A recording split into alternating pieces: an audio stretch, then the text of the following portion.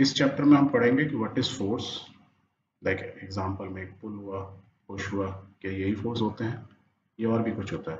और यदि फोर्स कुछ होता है, उसको हम यदि किसी बॉडी पे लगाते हैं तो उससे क्या फ़र्क पड़ता है? जैसे स्प्रिंग पे लगाया या बैलून पे लगाया, कुछ चेंजेस होते हैं या नहीं होते हैं? उसके बारे में पढ़ेंगे। कितने तरह के फोर्सेस होते हैं? पुल पुश ही है कि उसके अलावा भी कुछ और है। प्रेशर क्या होता है? जो टायर का प्रेशर होता है, बोलते हैं दिमाग में प्रेशर होता है ब्लड प्रेशर होता है। And what is that so the first question is what is force force क्या है? इसको हमको समझना है। पर फोर्स को समझने से पहले हमारे लिए दो चीज़ें समझना बहुत इंपॉर्टेंट है। फ़र्स्ट इज़ कॉल ऑब्जेक्ट हम ऑब्जेक्ट किसको बोलते हैं? What is object and state state of what state of an object कि ऑब्जेक्ट की क्या स्टेट है? पहले ऑब्जेक्ट समझ ले क्या होता है? Let's take example this is a match box is an object this coin is an object this bottle cap is an object this pen is an object तो ये सब क्या है? दीज आर ऑब्जेक्ट्स दुनिया में हमें जो भी कुछ दिख रहा होता है, जो भी कुछ होता है जिसकी कोई शेप है तो हम उनको क्या बोलते हैं? Objects object clear first part is clear okay now comes to the second part state of an object ये सब सारे के सारे ऑब्जेक्ट यदि हम चारों को देखें ऑल आर स्टेशनरी स्टेशनरी मतलब रुके हुए, एक ही जगह पे. They are not moving then what is the another stage moving यदि ये चल रहा होता तो इसको हम क्या बोलते हैं? It is in moving state देखो, ये देखो, चल रहा है। जब तक हम देख रहे हैं तो ये चल रहा है right so it is not stationary it is moving with time the position is changing so object की स्टेट कौन सी होती है? दो। One is call moving and is call stationary रुका हुआ है। Clear now let's see what happen if we apply force on object तो हम मैच बॉक्स लिए। हमने लेफ़्ट साइड से इसको पुश किया। So, it has started moving. State change हो गई from stationary to moving. Right right? हमने इस साइड से पुश किया। अभी स्टेशनरी है। मैं इधर से पुश किया। It is started moving the opposite direction right यदि मैं बॉटम से करता हूँ so it can move up to the top direction यदि मैं इसको लिफ्ट करता हूँ सो ऊपर चला गया। मैं इसको प्रेस करता या इसको देखो नीचे ले जा रहा हूँ। तो आई एम अप्लाइंग फोर्स जब भी मैं अप्लाइंग फोर्स करता हूँ, किसी भी ऑब्जेक्ट के ऊपर तो उसकी क्या होती है? स्टेट चेंज होती है। मैंने फोर्स लगाया किसके ऊपर? एक ऑब्जेक्ट के ऊपर, और ऑब्जेक्ट की क्या है? स्टेट चेंज हो गई। सेम वे में, यदि ये चल रहा होता, जैसे ये चल रहा है, ये चल रहा है तो मैंने क्या किया इसको? यहाँ लगे रुक गया यहाँ चल रहा है, मैंने यहाँ क्या किया? जैसे उसको रोका तो वो रुक गया। इधर जा रहा था, मैंने इसको रोक दिया। दैट मीन्स यदि मैं फोर्स लगा के तो हम क्या बोल रहे हैं? यदि कोई भी ऑब्जेक्ट अब मैं मैच बॉक्स को प्रॉपरली ड्रॉ करूँ पेपर पर जो ड्रॉ करते हैं तो हम ऐसे करते हैं। तो हम उस पर ऐसे लाइन कर लेते हैं इट इंडिकेट्स ग्राउंड या टेबल टॉप या कुछ भी ले लो। उसके ऊपर हमने ये ऑब्जेक्ट रखा। मैच बॉक्स एक्स ही था। उस पर मैंने फोर्स लगाया। जैसे एरो से शो करते हैं means this is the direction of force F से मैं उसको रिप्रेजेंट कर देता हूँ। जब इधर फोर्स लगाऊँगा तो object will move in this direction right तो हम स्टेशनरी से स्टार्ट मूविंग तो इसे दिस फोर्स जब हम इस साइड से ऐसे पुश करते हैं तो उसको हम पुशिंग फोर्स बोल देते हैं। इधर से बोल देते हैं पुल फोर्स बोल देते हैं। पुल फोर्स मैच बॉक्स के केस में ले लें। यदि मुझे इसको पुल करना है तो मैं क्या करूँगा? इसको ऐसे देखो ये कर रहा हूँ। मैं आई एम पुलिंग इट रस्सी बांधी I am pulling it push होता तो मैं बाहर से ऐसे धक्का देता। पुल में मैं इसको ऐसे पुल कर रहा हूँ। राइट तो मेरे को यहाँ पुल फोर्स दिखाना होगा। यदि सेम ऑब्जेक्ट के ऊपर, दोबारा हम डायग्राम बना लेते हैं। So this is match box मैं इधर ऐसे फोर्स दिखाता हूँ इस ऑब्जेक्ट से मैं आई एम पुलिंग राइट रस्सी बाँध दिया I am pulling it here it is is call pull this is call push so ये पुल फोर्स या पुश फोर्स हो गए इसको मैं लिफ्ट भी कर सकता था मैं ऊपर यदि मैं फोर्स लगाऊँ, इसी के ऊपर। देखो, यदि मैं ऐसे फोर्स लगा दूँ तो I can lift it upward force right जिस भी डायरेक्शन में उसी को उस डायरेक्शन में बोलते हैं। और नीचे फ्लोर को हम ऐसे दिखा देते हैं। इसी चीज़ के ऊपर रखा हुआ है। मैं ऊपर से दबाता I can press right so I what I am doing इस मैं फोर्स लगा रहा हूँ but is in downward direction या हम बोल देते हैं, हम उसको प्रेस कर रहे हैं लैंग्वेज में। तो आई एम तो फोर्स के दिखाने के तरीके हैं। तो फोर्स की एक डायरेक्शन होती है, और किस डायरेक्शन में रहता है, उसी के अकॉर्डिंगली उसका नाम होता है। ओके तो इससे हमें ये समझ में आया यदि कोई चीज़ स्टेशनरी है फोर्स लगाएँगे तो इट विल स्टार्ट मूविंग और फोर्स लगाने के लिए हम क्या कर रहे हैं? वंस अगेन मैं फोर्स लगाने के लिए अपने आप तो नहीं चल था मैं आया उसको टच किया राइट तभी ये चला। और यदि मुझे इसको पुल करना था सो मैंने क्या किया? इसके इसमें इस हुक को फंसाया एंड आई स्टार्ट पुलिंग तो अगेन मैंने कांटेक्ट किया राइट सो so, ये किस टाइप के फोर्स हुए? वेयर ऑब्जेक्ट के साथ, ये जो ऑब्जेक्ट है मेरा, ये जो मेरा ऑब्जेक्ट है मैच बॉक्स उसके साथ जो मैं फोर्स लगा रहा हूँ, वो इसके टच में है। इन कॉन्टैक्ट क्या है? कॉन्टैक्ट में है। टच कर रहा है उसको। So these are called contact forces तो आई मीन फोर्सेस का बोलते हैं? कॉन्टैक्ट फोर्सेस जब मैं कोई फोर्स लगाऊँगा, वो कांटेक्ट में आएगा। तब मेरा क्या होगा? ऑब्जेक्ट की स्टेट चेंज हो जाएगी। स्टेट चेंजेस ये वो हम उस स्टेट की बात नहीं कर रहे सॉलिड लिक्विड गैस वो बाद में बात करेंगे। पर अभी के लिए ये है कि यदि स्टेशनरी है तो क्या होगा? स्टेशनरी है तो स्टार्ट मूविंग राइट मूव करने लगेगा। और मूव किस कर रहा है? किस डायरेक्शन में देखो? जिस डायरेक्शन में फोर्स लगा रहा हूँ। मैं जिस डायरेक्शन में पुल कर रहा हूँ, उसी डायरेक्शन में जा रहा है राइट तो खाली क्या कॉन्टैक्ट फोर्सेज होते हैं? मतलब किसी चीज़ की स्टेट किसी भी चीज़ की, इस मैच बॉक्स को। मैं कोई भी ऑब्जेक्ट हो मैच बॉक्स हो या कोई भी ऑब्जेक्ट हो, क्या कांटेक्ट करूँगा तभी वो चलेगा या और भी कोई तरीका होता है? Let's what a watch a movie and then we will discuss further ये देखो, एक मैग्नेट आई और इसने बिना कांटेक्ट किए इसको अट्रैक्ट कर लिया अपनी तरफ़ से। यदि मैं इसको निकालना नहीं चाहूँगा वो force is very powerful right? Let's watch this one?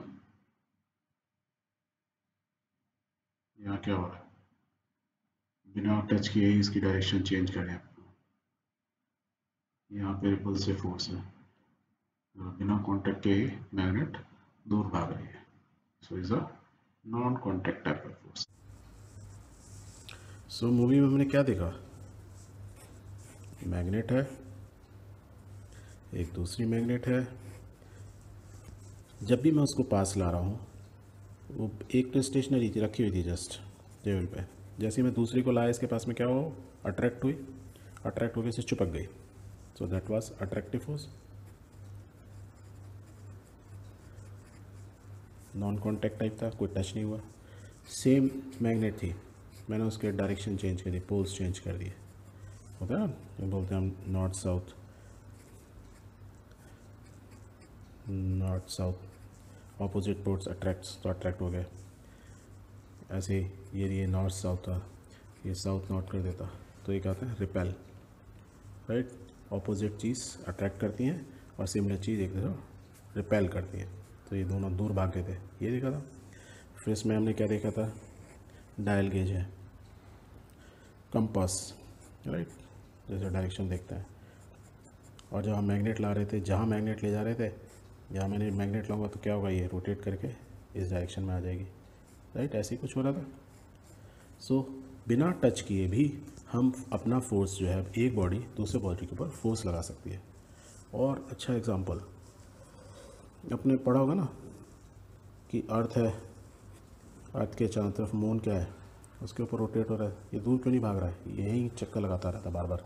ऐसी जो अर्थ है वो सन है यहाँ पे। राइट इस किसान के चारों तरफ़ ऐसे इलेक्ट्रिकल ऑर्डर में चक्कर लगाती रहती है। क्यों लगाती रहती है? Because they have attractive force और वो कौन सा फोर्स होता है? Is call gravitational force gravitational force so force बहुत तरह के होते हैं। वी विल स्टडी कि और कौन कौन से तरह के होते हैं। तो बेसिक ये है कि किसी भी ऑब्जेक्ट को हम जब कोई फोर्स लगाएँगे whether is a contact type और अ नॉन कॉन्टैक्ट टाइप उसकी स्टेट चेंज होगी। Either start moving or it become stationary. Right so so, हमने ये देखा कि जब हम फोर्स अप्लाई करते हैं किसी भी ऑब्जेक्ट के ऊपर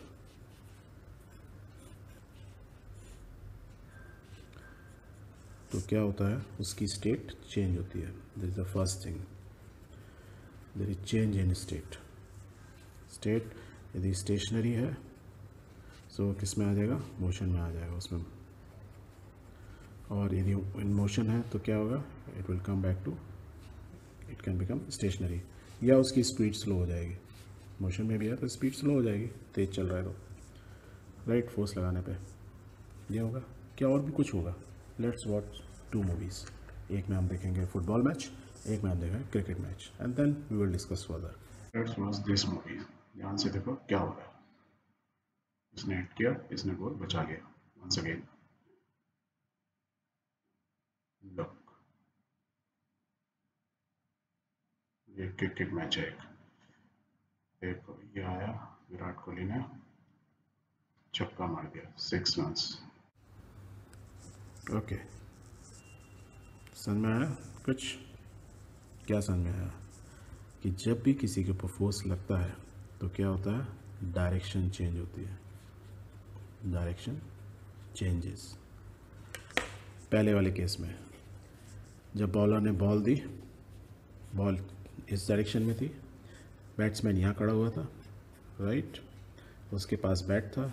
जब बॉल चलते हुए यहाँ आई, इस जगह पे देन बैट उसने क्या किया? अपने बैट से इसको हिट किया and ball moves in the another direction जहाँ बॉल इधर रही थी, इसने क्योंकि हिट किया? It is start now it is moving in this direction तो क्या हुआ? डायरेक्शन चेंज हुई। सेम वे में गोल कीपर में एक प्लेयर ने बॉल हिट की गोल कीपर यहाँ था उसने अपने हैंड से रोका and ball moves in the another direction कहने का मतलब हम अपनी ताकत से इन दोनों ने बैटमैन विराट कोहली ने और वो गोल कीपर ने दोनों ने क्या किया? अपनी ताकत से बॉल की डायरेक्शन चेंज कर दी. सो so, पहला जब हम फोर्स लगाते हैं तो इस मोमेंट या स्टेशनरी हो जाता है। दूसरा जब हम फोर्स लगाते हैं तो डायरेक्शन जो भी ऑब्जेक्ट है जो भी ऑब्जेक्ट जिस केस में बॉल है, उसकी डायरेक्शन चेंज हो जाती है।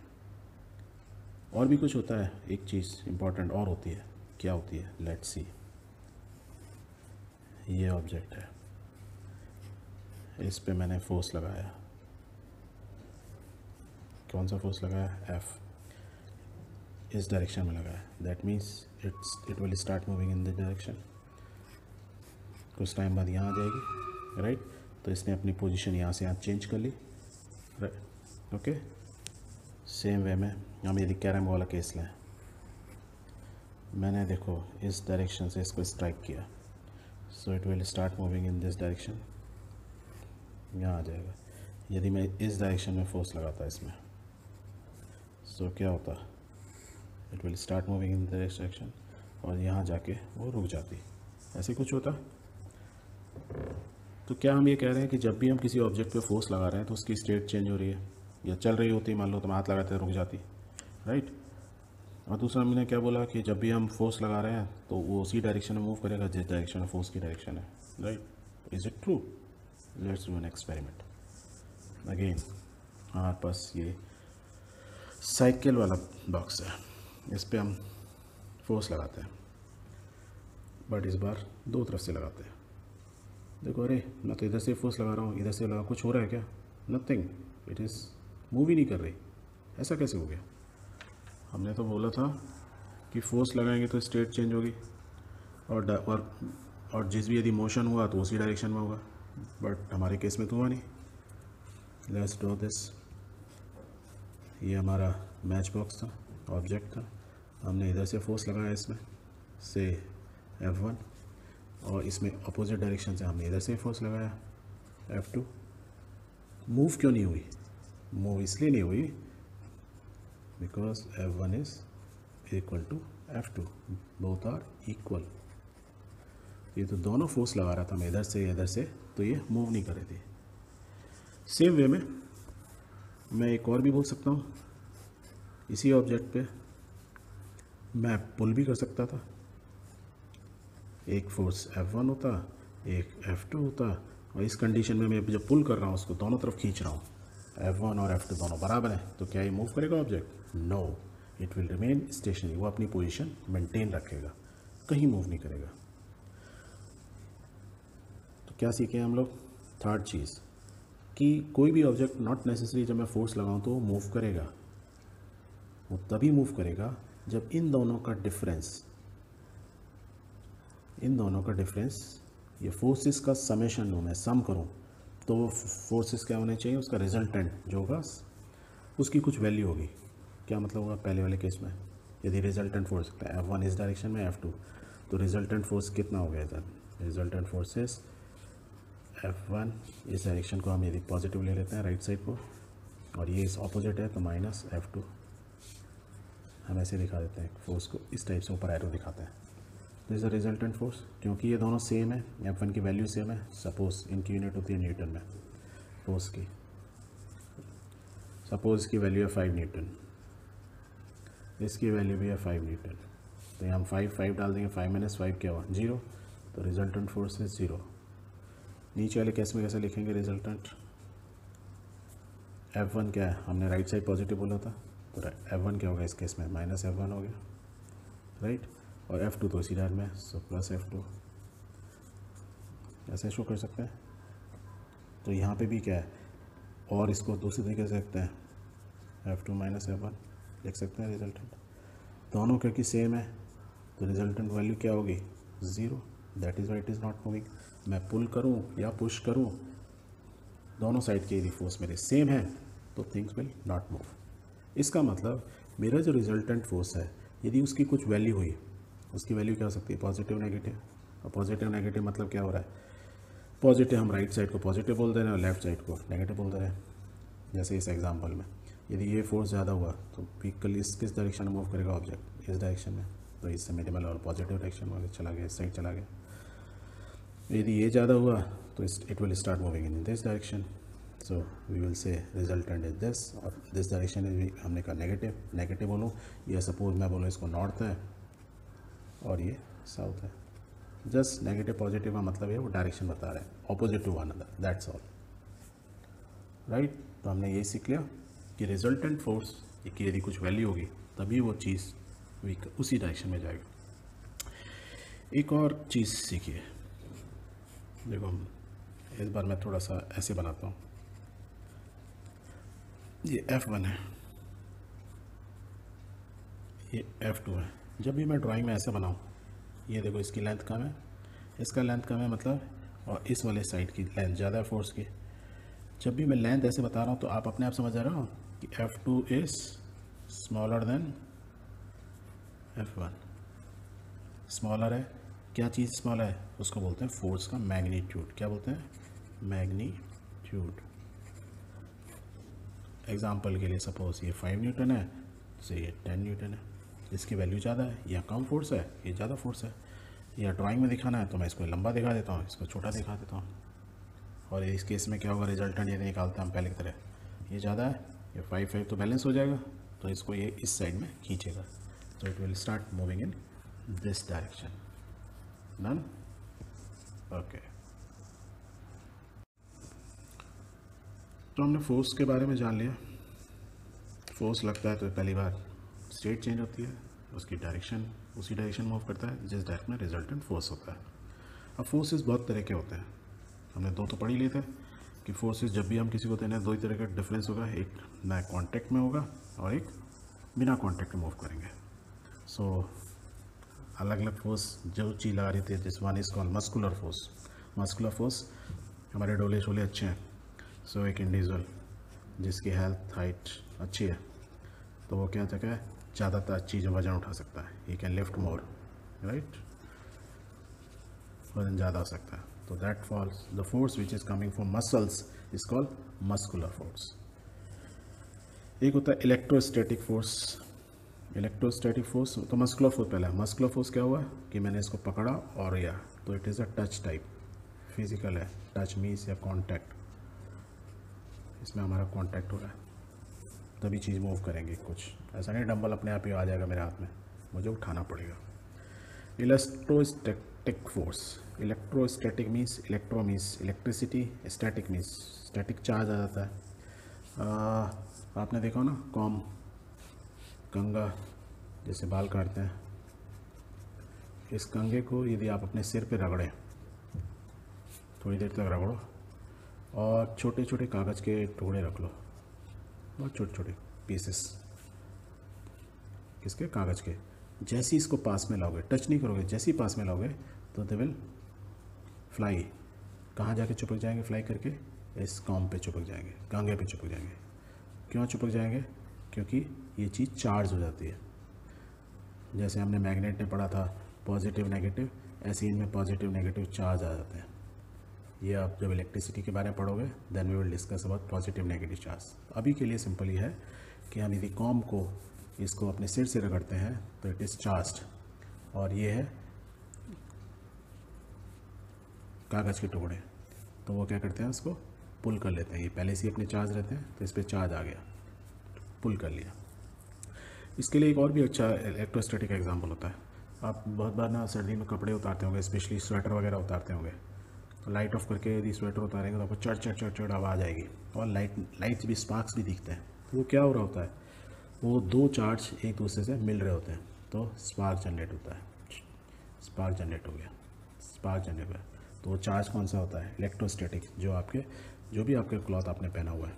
उस क्लॉथ के ऊपर वो ड्राइंग अच्छी नहीं है, कोई बात नहीं। इसके ऊपर वो चार्ज पहले से ही रहता है। और जब आप मूव करते हो क्लॉथ पर चलते हो तो उसमें क्लॉथ में चार्ज इधर से उधर मूव कर रहा होता है। और जब आप उतारते हो तो इधर वाला चार्ज उधर वाले चार्ज से जुड़ता है। And the moment it come in quantity तो स्पार्क जनरेट होता है। इस फोर्स को क्या बोलते हैं? जो इसको मूव करा दे, या चार्ज मूव को मूव कराए किसी चीज़ है चार्ज इज़ एन ऑब्जेक्ट तो मूव होगा तो that is called electrostatic force magnetic force हमने पढ़ाई, दो मैग्नेट्स बिना कॉन्टैक्ट तो this is non contact type electrostatics is non contact type gravitational force क्या होता है ये? ये हमारी अर्थ है। और इसके चारों तरफ़ हमारा एटमॉस्फेयर है। इस एटमॉस्फेयर में, देखते ना, यहाँ प्लेन उड़ रहा है। ब्यूटीफुल प्लेन रहे शाम से जा रहा है फास्ट पेट्रोल ख़त्म हो गया इसका। क्या होगा ये प्लेन ये अल्टीमेटली आके यहाँ गिर जाएगा। And we have a crash पर ये नीचे आके क्यों करा? ये ऊपर क्यों नहीं चला गया? स्पेस में क्यों नहीं चला गया? इसलिए चला, इसलिए नहीं गया क्योंकि we have a gravity gravity means earth जो है अर्थ हर चीज़ को अपनी तरफ़ खींचती है एवरीथिंग आपने कुछ भी देखा होगा, घर के अंदर, ये देखो एक्सपेरिमेंट ये है मैच बॉक्स इसको मैं छोड़ रहा हूँ, कहाँ जा रहा है? इधर उधर नहीं भाग रहा है, कहाँ जा रहा है? सीधा स्ट्रेट डाउन कहाँ गिर रहा है? ज़मीन पर. इसको ले लो कॉइन्स ले लो. ये कॉइन्स इसको भी छोड़ूँगा. ये कहाँ गया? नीचे. तो ये क्यों नीचे गिर रहा है? सब कहाँ पे गिर रहा है? सरफेस पर। या ये अर्थ के फॉर्म में बना दिया मैंने।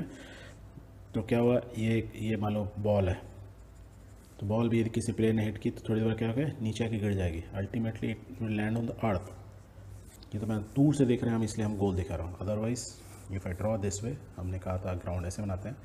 यदि किसी भी चीज़ को मैं, कोई भी चीज़ है बॉल है, कुछ भी चीज़ है तो it will fall on earth directly because earth जो है एवरीथिंग को अट्रैक्ट करती है। ऑल द ऑब्जेक्ट्स जो भी ऐसी बॉडी होती हैं प्लैनेट्स हो, कुछ भी हो सब एक दूसरे को अट्रैक्ट करते हैं। तो वो जो फोर्स होता है, उसको हम बोलते हैं ग्रेविटेशनल फोर्स तो क्या इस बॉल को ये अर्थ टच कर रही है नहीं। तो इट इज़ अ और फिर भी स्टिल वो नीचे गिर रहा है। तो फोर्स लग रहा है, और फोर्स की डायरेक्शन में यदि बैक से वैसे पर ऊपर से नहीं लग रहा है, इसमें क्या हो रहा है? नीचे पुल कर रहा है। इट्स एन अट्रैक्टिव फोर्स पास में आ गया। तो it is a non contact type force और भी कुछ होते हैं क्या? हाँ बहुत सारे होते हैं। नाम देने हैं आपको फोर्स का। एग्ज़ाम्पल के लिए यही प्लेन ले लें। ये प्लेन जो हवा में उड़ रहा होता है राइट तो क्या होता है? प्लेन प्लेन में तो हम हवा में से बाहर से हाथ नहीं निकाल सकते। तो क्या करते हैं? चलो एक काम करते हैं ट्रेन बनाते हैं। So we have now Vande Bharat train super fast train so this is our train इस ट्रेन में आप बैठे हुए हैं। ये रेल के ऊपर बहुत स्पीड से चल रही है। इसकी विंडो से आप बाहर हाथ निकालो तो आपका हाथ क्या फट से बैक जाएगा। है कि नहीं? जैसे हाथ निकालोगे तो क्या हाथ, आपका हाथ के हाथ को बहुत एकदम लगेगा झटका सा लगेगा। या कार में भी ट्रैवल कर रहे हो नो इशू सिंपल यदि आपने फास्ट कार चल रही है पापा आपके कार चला रहे हैं, या मम्मा चला रही हैं तो आप देखोगे आप विंडो से हाथ बाहर निकालो। द मोमेंट आप हाथ बाहर निकालोगे you will feel a force in the opposite direction car इस डायरेक्शन में जा रही है कार किस डायरेक्शन में? इस डायरेक्शन में जा रही है। तो आप you will feel a force in the opposite direction वो किसकी वजह से लग रहा है? यस एयर एयर आपको धक्का दे रही है। तो ये एयर आपको धक्का दे रही है बैक साइड में। तो इसको हम बोलते हैं ड्रैग या हम बोलेंगे क्योंकि एयर से जो फोर्स लग रहा है ड्रैग आपको पीछे खींचने की कोशिश कर रहा है। तो हम उसको बोलते हैं ड्रैग फोर्स अब इसको ड्रैग फोर्स क्यों बोला? अगेन इसको मैं इधर क्या कर रहा था? पुश कर रहा था तो पुश फोर्स इधर से यदि खींचूँगा तो पुल फोर्स ये ड्रैग दे रहा है तो it's a drag force same चीज़, यदि एरोप्लेन हवा में उड़ रहा होता है उसमें भी यदि खिड़की होती है और आप खिड़की में से बाहर निकाल सकते हैं हवा। ये तो हेलीकॉप्टर में होता है ये चीज़, क्योंकि आप निकाल सकते हो। Then you can feel the air तो एयर क्या कर रही है? इसको रजिस्ट कर रही है। तो इट्स प्रोवाइडिंग रजिस्टेंस और आपने हाथ बाहर निकाला, उसको फोर्स लगेगा that is called drag force और कौन सा फोर्स हो सकता है? यस आप ज़मीन पे चलते हो।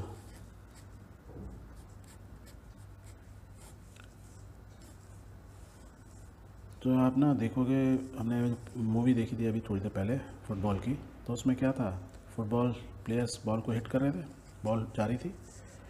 पर आपने उनके शूज़ को देखा? फुटबॉल वालों के भी शूज़ देखे? यदि आप शूज़ को बैक से देखोगे तो उसमें यहाँ नेल्स होती हैं।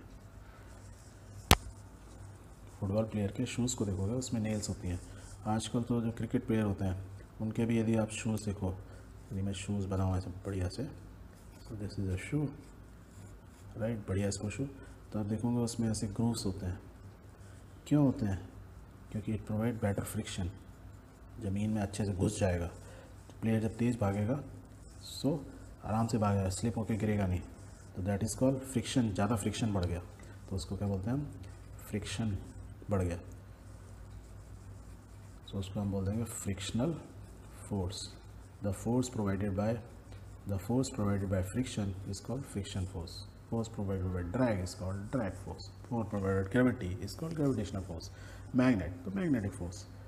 करंट नहीं दिया तो इलेक्ट्रोस्टिक फोर्स आदमी की बॉडी ने दिया मस्कल्स ने दिया मस्कुलर फोर्स तो इस तरीके से हम फोर्सेस के नाम देते हैं. So these are different type of forces now comes to next part what is pressure? So, day to day life में कैसे हम प्रेशर को डिफाइन करते हैं? बोलते हैं ना, मेरा बहुत ज़्यादा ब्लड प्रेशर बढ़ गया है, पापा बोलते हैं। क्यों बोलते हैं? क्योंकि ह्यूमन बॉडी के अंदर हमारी बहुत सारी वेंस होती हैं से ट्यूब्स होती हैं, जिसमें ब्लड चल रहा होता है। प्रेशर बढ़ जाता मीन्स ब्लड जो है इसके अंदर जितना जाना चाहिए था और उससे ज़्यादा जाना चाह रहा है। तो क्या होगा, ये फूलने की कोशिश करेगी, लाइक अ बैलून।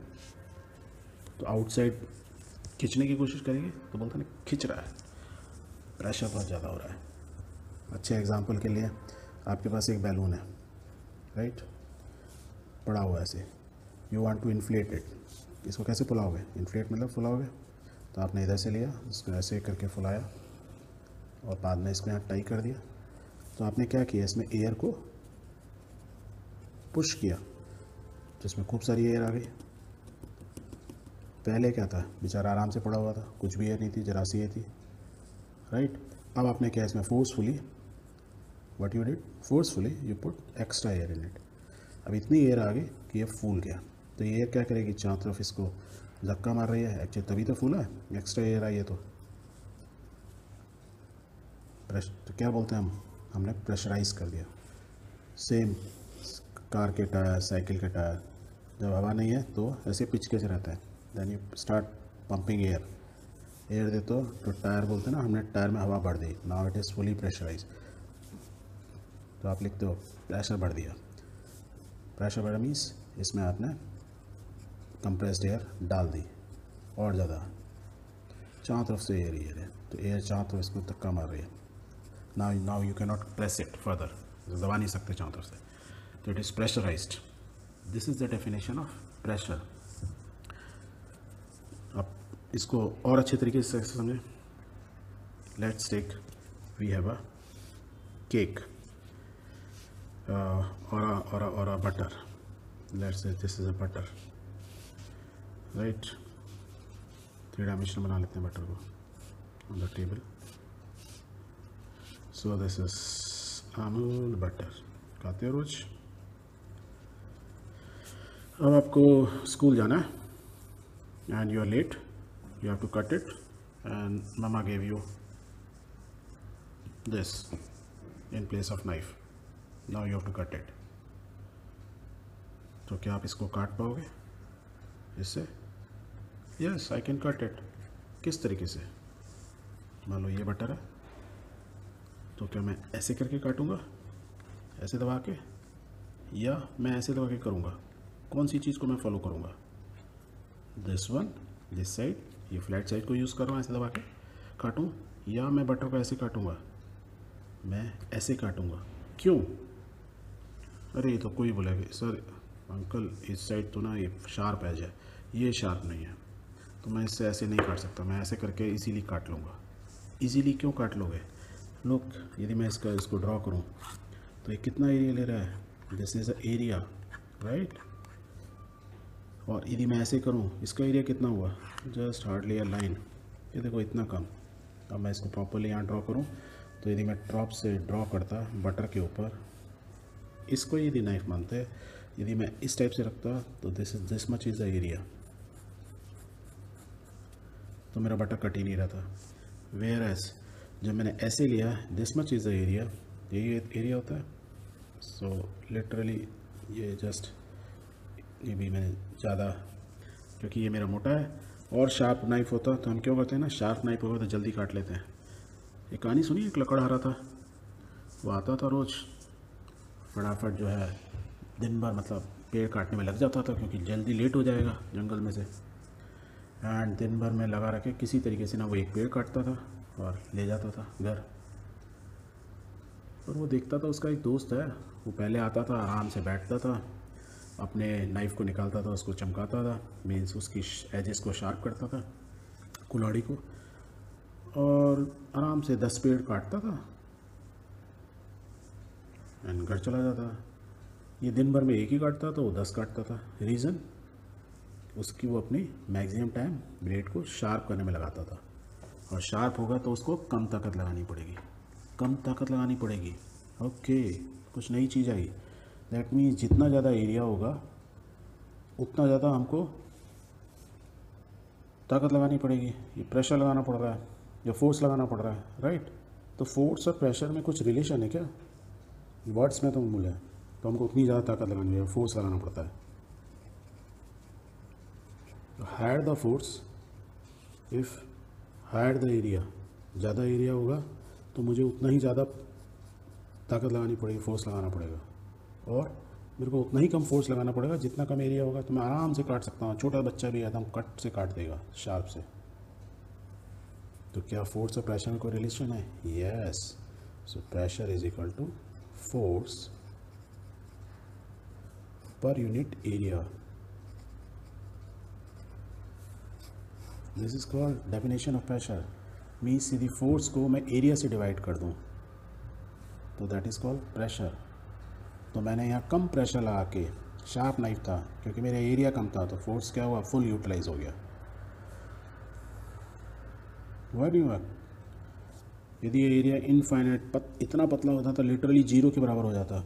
और कोई भी यूनिट के नीचे यदि ज़ीरो आ जाता है तो क्या आ जाती है वैल्यू इनफाइनाइट पड़ा था ना नंबर कोई हर एक नंबर मान लो टू है उसके नीचे ज़ीरो होगा तो ये क्या वैल्यू हो जाएगी? इनफाइनाइट इतने वैल्यू हो जाएगी। तो यदि ज़ीरो हुआ force whatever is the value of force pressure क्या हो? जाएगा इनफाइनाइट मीन्स कट से काट देगा इजीली काट लोगे। यहाँ पे सेम फोर्स लगाया, पर एरिया बढ़ गया। वही चिंकू है, पर इस टाइप से काट रहा है। इस टाइप से काट रहा मीन्स ये एरिया यूज़ कर रहा है। काट पाएगा नहीं, क्योंकि फोर्स तो उतना ही लग रहा है, चिंकू तो वही है। एरिया बढ़ गया। एरिया बढ़ गया मीन्स प्रेशर मेरा कम हो गया। उस पर हम प्रेशर कम लगा पा रहे हैं, कम दबा पा रहे हैं। Right clear this what is what is pressure और कुछ एग्जांपल लेते हैं। Hmm, ये हमारी अर्थ है। और ये हमारा अर्थ का एटमॉस्फेयर है। राइट क्या है? ये हमारा अर्थ का एटमॉस्फेयर है। सो so, इस एटमॉस्फेयर में एयर है चारों तरफ़। So it is like a balloon same ऐसे बोल सकते हैं। यदि मैं इसको छोटा इसको आपको ये तो मैंने एक सेक्शन ले लिया, अर्थ का, कि ये अर्थ है राइट और ये इसका एटमॉस्फेयर है। ये आपने पढ़ा था पहली क्लासेज में? यहाँ पे एयर है, जैसे ऊपर ज़्यादा एयर कम होती जाती है। तो इसका मतलब ये एयर भी इस साइड ही प्रेस प्रेस कर रही होगी पूरी अर्थ को भी? तो यदि एक आदमी है। ये आदमी का शेर है, उसका एरिया है राइट ऐसे करके खड़ा है आदमी। तो इसके ऊपर इतना जो है ना, एक तरह से देखा जाए, इतना एयर का प्रेशर या एक बोला एक कंटेनर है जिसमें एयर भरी हुई है। और कंटेनर का वेट मान लो निकलिजिबल है बट एयर का वेट तो है, ये इतना इसके शेर के ऊपर कंटिन्यूस पड़ रही है तो हमको फील क्यों नहीं होता? ये प्रेशर हवा का प्रेशर फील क्यों नहीं होता? फील इसलिए नहीं होता है क्योंकि इधर भी वही प्रेशर पड़ रहा है। फ्लूड की खासियत होती है। फ्लूड मीन्स कोई भी चीज़ जो मूव करती है water air these are called fluids तो जितना इधर पड़ रहा है, उतना ही प्रेशर चारों तरफ़ से पड़ रहा है इसमें, इस लोकेशन के ऊपर। यदि ये बॉल होती है, यदि मैं आदमी यहाँ से उठा के ऐसे लगता हूँ, मान लो यहाँ पे ले लेते हैं तो इसमें चारों तरफ़ से प्रेशर कितना पड़ रहा है? करीब करीब बराबर है निकलिजिबल इसकी डेप्थ इसके रेस्पेक्ट में बहुत कम है। तो चारों तरफ़ से बराबर पड़ रहा है। जब चारों तरफ़ से हम स्क्वीज़ क्यों नहीं जाते? स्क्वीज़ मीन्स यदि मैं एक बैलून को एक कैसे बड़े से वाटर टैंक में ले जाऊँ, इसी बैलून को, मैं इस टैंक में लाता हूँ। सो बैलून इनिशियली यहाँ होगा, इसका मान लो ये साइज़ है। जैसे जैसे मैं नीचे जाता जाऊँगा, आप देखोगे इस बैलून का साइज़ छोटा होता जाएगा। क्यों? क्योंकि पानी का जो प्रेशर है, यहाँ से लेकर यहाँ तक हाइट बढ़ गई तो पानी का प्रेशर चाँद से यहाँ पे बढ़ जाएगा। इसलिए बोलते हैं ना, जैसे जैसे आप नदी में नीचे जाते जाते हो, प्रेशर बढ़ता जाता है। टॉर्पीडोज जो टॉर्पीडो वगैरह होते हैं नॉट सबमरीन्स। सबमरीन भी जब सी में बहुत नीचे चले जाते हैं तो क्रश हो जाते हैं। क्यों हो जाते हैं? क्यों चाँद से फोर्स है इस बैलून पर पड़ रहा है। तो it is a pressure they are not able to withstand those pressures and वो क्रश हो गए। आदमी के केस में? आदमी क्यों नहीं क्रश हो रहा? ये आदमी है। ये हवा के प्रेशर क्रश क्यों नहीं चपटा क्यों नहीं हो जा रहा? वो इसलिए नहीं हो रहा क्योंकि अंदर हमारी बॉडी के अंदर जो प्रेशर है, वो प्रेशर अंदर और बाहर का प्रेशर बराबर है। जैसे मैं ये लूँ। इसको मैं दोनों चारों तरफ़ से फोर्स लगा रहा हूँ। क्या इसमें कुछ हो रहा है? नहीं, ये इतना स्ट्रॉन्ग है कि इतना प्रेशर ले पा रहा है। या मैं बोलूँ, इसके अंदर की जो चीज़ें हैं, अंदर से भी उतना ही फोर्स आ रहा है जितना बाहर से आ रहा है। इसलिए ये अपना शेप मेंटेन की हुई है राइट इसलिए हमारी बॉडी अपनी शेप मेंटेन करती रहती है। ओके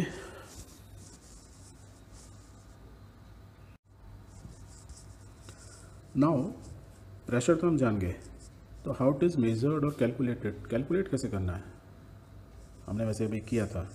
हमने जब बटर को कट किया था विद डिफरेंट क्रॉस सेक्शंस एक नाइफ से शार्प एज से और एक उसके क्रॉस सेक्शन से तो हमने देखा था प्रेशर का फॉर्मूला क्या निकाला था हमने? Pressure is equal to force per unit area force divide by area so this is a this is the way we calculate कितना फोर्स कितने एरिया पे लग रहा है? Okay okay. इसका कहने का मतलब क्या हो गया? uh, एक एग्जांपल और ले लेते हैं. आप लोग uh, कभी इंजेक्शन लगाने गए हो? ये आपका हैंड है. डॉक्टर की निडल होती है. This is injection right injection हल्का करता है कट से अंदर घुस जाती है. यदि मैं इसी पेंसिल को लेकर इसमें घुसाने की कोशिश करूँगा घुसेगी? नहीं. क्यों?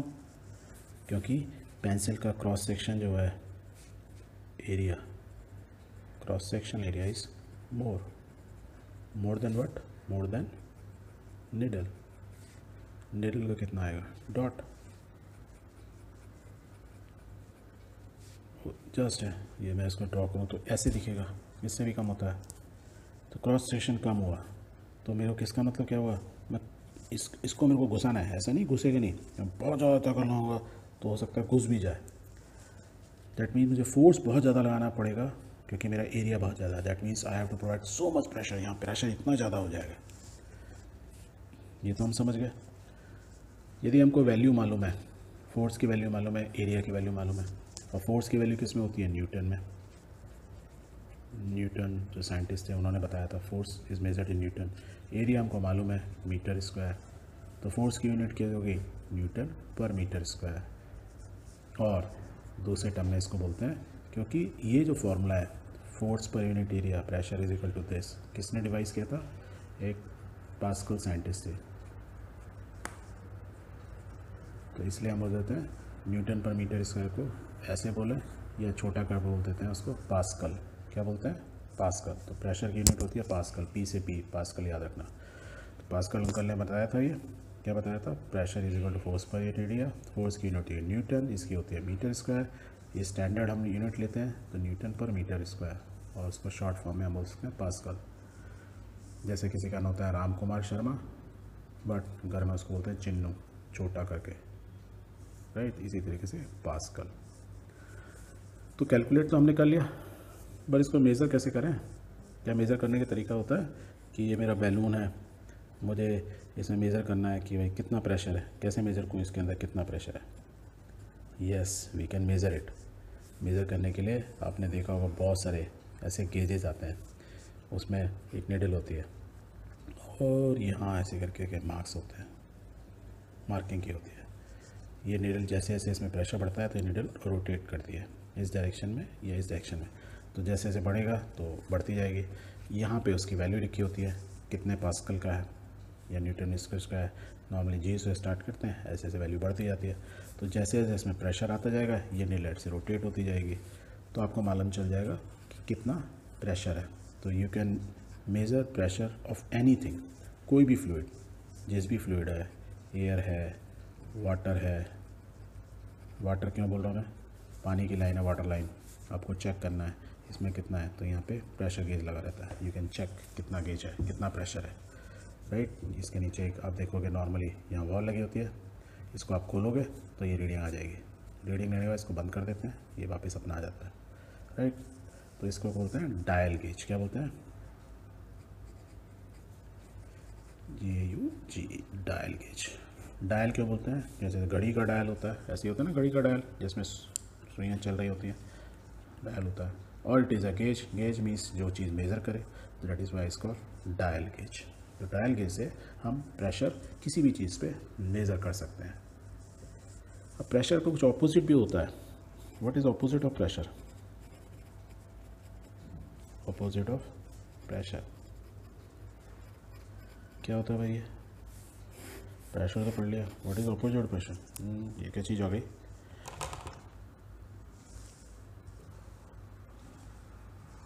Opposite of pressure means look same balloon कहाँ गया? ये बैलून जिसके अंदर हमने क्या किया है? हवा भर दी है। हवा यहाँ से यहाँ तक, इसमें तरफ़ से धक्का दे रही है फोर्स लगा रही है या प्रेशर लगा रही है। इस प्रेशराइज है। ओके पर ये प्रेशर किसके अगेंस्ट दे रही है? जो चारों तरफ़ एयर है, उसके अगेंस्ट में, उसके अगेंस्ट में, इधर वाली एयर को दूर भगा रही है। तभी तो प्रेशर है राइट यदि मैं क्या करूँ, एक काम करता हूँ, इसको मैं ना, इस, इसकी जगह मैं एक ग्लास ले लेता हूँ सपोज़ या एक बोतल लेता हूँ बेटर है। दिस इज़ अ बोतल इस बोतल को मैं यहाँ से बंद करता हूँ, एक पाइप लगाता हूँ, और इसमें से पूरी हवा को ना बाहर निकाल लेता हूँ। तो सेम बोतल ग्लास की जगह ये बोतल है सॉलिड है ग्लास बोतल मैं इसमें से जो भी एयर थी, मैंने क्या किया, इसको बाहर निकाल लिया कंप्लीट एयर अब इसमें एयर रही नहीं। जब एयर नहीं रही तो क्या हो गया? And there is no air we call it's call vacuum जब एयर नहीं हो गई तो वैक्यूम हो गया। सो so, वैक्यूम नहीं हुआ तो अंदर तो कुछ नहीं हुआ। पर चारों तरफ़ तो एयर है because it is an atmosphere तो क्या हुआ? अब प्रेशर कहाँ से लगना लगा? आउटसाइड से इनसाइड जो बाहर वाली हवा है इसको क्या कि चारों तरफ़ से दबाएगी। प्रेस करेगी कंप्रेस कर रही है। तो it is an outside pressure outside pressure क्यों लग रहा है? क्योंकि अंदर की हवा निकल गई। तो ये क्या प्रॉब्लम क्या हुआ? हमने इसको ऐसे निकाल दिया। तो आउटसाइड की प्रेशर दबाने की कोशिश करेगी और ये क्रश होने की कोशिश करेगी। क्या क्रश होगा कि नहीं होगा? कि यदि मैं इसको, इसमें, चलो एक एग्ज़ाम दूसरे के लेते हैं। यदि इसी के अंदर, इसी ग्लास के अंदर मैं हवा बढ़ता हवा बढ़ता जाऊँगा ग्लास है तो एक केमिकल का का ब्लास्ट हो जाएगा फटाक टूट जाएगा। सेम वे में यदि मैं इसमें से हवा निकाल दूँ तो क्या एक क्रश हो जाएगा? And which is more powerful vacuum is more powerful या मैंने जो अंदर कंप्रेस एयर दिया प्रेशराइज किया, कौन सा ज़्यादा पावरफुल होता है? लेट सी कि पावरफुल क्या होता है। एक वीडियो देखते हैं, फिर उसके बाद बात करते हैं। Let's see this example power of vacuum ये गेज में देखिए, ये इसमें से क्या कर रहे हैं? टैंक में से हवा को बाहर पुल करते जा रहे हैं पंप से। क्योंकि चारों तरफ़ क्या है? कंप्रेस हवा है। एटमॉस्फेयर का प्रेशर है चारों से लग रहा है। अब देखो, एक और कम हुआ, और कम हुआ एंड एक टाइम ऐसा आएगा कि अंदर बिल्कुल ही हवा, जब ज़ीरो सी होने वाली होगी, अभी ज़ीरो नहीं हुई है। It is reducing vacuum is increasing and look what happened completely badly crushed. So हमने जो मूवी में देखा, एक कंटेनर जिसमें से हमने पूरी हवा निकाल दी right what we created we created a vacuum हमने इसके इनसाइड में एक वैक्यूम क्रिएट कर दिया। वैक्यूम कितना वैक्यूम क्रिएट किया, उसके लिए हमने एक डायल गेज लगाया था। ये पहले प्रेशराइज था, फिर वो बता रहा है वापस ऑपोजिट डायरेक्शन मूव कर रहा है, क्योंकि प्रेशर घटता जा रहा है। वैक्यूम क्रिएट होता जा रहा है। और ये फाइनली क्या हुआ? ऐसे करके क्रश हो गया। क्यों हुआ? क्योंकि इसके चारों तरफ़ से इसमें हवा का प्रेशर था। कौन सा हवा का प्रेशर हम जिस एटमॉस्फेयर में रहते हैं, उस एटमॉस्फेयर में। और वो एटमॉस्फेयर क्या है? ये अर्थ है। ये अर्थ का सरफेस है। तो ये हमारा इतना बड़ा, इतनी हाइट तक। ये क्या है? हमारे डिफिनेट स्पीयर जिसके अंदर एयर है। और हमने ये रखा था कहाँ पे? ड्रम एक्चुअली यहाँ। तो इस पर इतना प्रेशर है। और वो भी क्या है? हमने वैसे बोला था सेम जगह होता है तरफ़ से प्रेशर क्या होता है? चारों तरफ़ से लगता है। एक साइंटिस्ट थे बर्नोलिस बर्नोलिस साइंटिस्ट ने क्या बोला था कि यदि हम सेम लोकेशन पे हैं तो प्रेशर चारों तरफ़ से बराबर पड़ेगा। जैसे कि हमने बोला, ये चीज़ है, इससे प्रेशर इस पोजीशन में चारों तरफ़ से एयर का प्रेशर ऐसा नहीं, ऊपर ज़्यादा पड़ रहा है चारों तरफ़ से बराबर पड़ रहा है बिकॉज़ ये ये इसकी हाइट इस जो हमारा एटमॉस्फेयर है, उसकी हाइट से बहुत निगलिजिबल है। इसलिए हम मान के चलते हैं तो चारों तरफ़ से प्रेशर इसमें बराबर पड़ रहा है। तो चारों तरफ़ से प्रेशर पड़ रहा है और वो प्रेशर किसका पड़ रहा था? इतनी हाइट तक की जो एयर है। इतना ही प्रेशर इस पर पड़ रहा है तरफ़ से। जैसे हमने वैक्यूम निकाला दैट मीन्स इसका जो प्रेशर था, हवा का जो वेट था, वो फोर्स पर यूनिट एरिया चारों तरफ़ से लगा तो ये क्रश हो गया। तो प्रेशर तो वैक्यूम किसी चीज़ को तोड़ना ज़्यादा ईजी होता है। यदि मैं इसको प्रेशराइज करता था, हवा डालता डालता डालता था, ये ब्लास्ट होने में टाइम लगता, पर मैंने इसकी हवा निकाल दी तो बहुत ही डैमेज हो गया। जैसे किसी को क्रश करना है तो vacuum is more powerful than pressure अब एक चीज़ और तरीके समझते हैं। हमने पहले बोला था कि मेरी बॉडी मैं अर्थ पर यहाँ खड़ा हूँ हम्म, इस जगह पर। आई एम हेयर राइट मेरे पास चारों तरफ़ से प्रेशर लग रहा है। तो हमने जैसे अभी बोला था कि क्योंकि हमारे पास चारों तरफ़ से प्रेशर लग रहा है तो और हमारे इंटरनल बॉडी का जो ब्लड प्रेशर है हम दोनों का वैल्यू बराबर होती है इसलिए हमको ये फील नहीं होता इतना। जबकि ये देखो इतना बड़ा स्टील का ड्रम क्रश हो गया। हमें फील नहीं होता। पर यदि हमें फील करना है तो क्या करें यहाँ से अर्थ के ऊपर बहुत सारे माउंटेन्स हैं। राइट ये अर्थ का ग्राउंड फ्लोर है। यहाँ मतलब हम एक्चुअली यहाँ खड़े थे ग्राउंड पर। ये रिलैक्स दिल्ली वगैरह में खड़े थे। अब आप नॉर्मल आदमी जो दिल्ली वगैरह में रहता है ग्राउंड एरिया में रहता है प्लेन में रहता है, जिसको हम बोलते हैं, अब वो इस चढ़ना शुरू करता है। राइट तो एक पर्टिकुलर हाइट पर जब पहुँचेगा, यहाँ आ गया सपोज़ तो क्या होगा? पहले इसके ऊपर एटमॉस्फेयर की इतनी लंबी, ऊपर तक चली जा रही है, इतना प्रेशर था उसके ऊपर, चारों तरफ़ से बॉडी पर पर जब वो यहाँ आया तो ये ऊपर वाला मैं सेम मान लेता हूँ तो क्या हो गया? ये हवा का प्रेशर अब इसके ऊपर कम हो गया। ये रहने वाला कहाँ का था? प्लेन प्लेन एरिया का था। राइट जहाँ गया, पहाड़ के ऊपर। यदि आप सडनली पहाड़ के चले तो बॉडी अपने को एडजस्ट नहीं कर पाएगी। एडजस्ट नहीं कर पाएगी मीन्स आपका इंटरनल ब्लड का pressure your blood pressure is more than outside air pressure क्या होगा? अंदर ब्लड का प्रेशर ज़्यादा है एयर का प्रेशर कम है सो so आपका ब्लड बॉडी से बाहर आने की कोशिश करेगा। इसलिए आप बहुत बार देखोगे कि जो लोग होते हैं, उनकी ये नोज़ है नोज़ से यहाँ ब्लड आने लगता है। जब भी आप पहाड़ पे जाओगे एंड जाके देखोगे सडनली यदि आप पहाड़ पे अपना प्लेन से पहाड़ पे चले जाते हो तो यू विल स्टार्ट कि आपकी बहुत से लोगों की नोज़ से ब्लड निकलने लगता है। क्यों? क्योंकि उनका ब्लड का प्रेशर एयर के प्रेशर को एकदम एडजस्ट नहीं कर पाया। और सपोज़ दिस इज़ एवरेस्ट आपको एवरेस्ट जाना है। तो ऐसा नहीं है कि आप आज दिल्ली से उठे और कल एवरेस्ट पहुँच गए। यहाँ से प्लेन से गए और यहाँ उतरे और बस थोड़ा सा चले, पहुँच गए। क्या होगा? आपका बॉडी एक्टमोटाइज नहीं कर पाएगी एडजस्ट नहीं कर पाएगी। क्या एडजस्ट नहीं कर पाएगी? Inside pressure of your body like a balloon will be much higher than outside air pressure तो क्या होगा ये? बस्ट होना शुरू होगा। बस्ट होगा मीन्स आपकी नसें फट सकती हैं, आँखों से ब्लड आ सकता है, कान से ब्लड आ सकता है and you can die also इसलिए इनके बेसिस बेस कैंप्स होते हैं बहुत सारे। पहले यहाँ से यहाँ, फिर यहाँ से यहाँ, फिर यहाँ से यहाँ, फिर धीरे धीरे करके पहुँचते हैं। सडनली नहीं जा सकते। पुराने ज़माने में तो प्लेन नहीं थे तो ऐसा नहीं जा सकते थे। पहले वो तो अपने आप ही धीरे धीरे जाते थे तो उनको प्रॉब्लम ही नहीं आती थी। पर आज की डेट में लोग क्या करते हैं, यहाँ से उठते हैं, यहाँ पहुँच जाते हैं। पर ऐसा नहीं वो डायरेक्ट यहाँ पहुँच जाए, क्योंकि उनको बॉडी को एक्मोटाइज होने के लिए टाइम देना होगा। And this is the power of pressure I hope you understood about force and pressure thank you.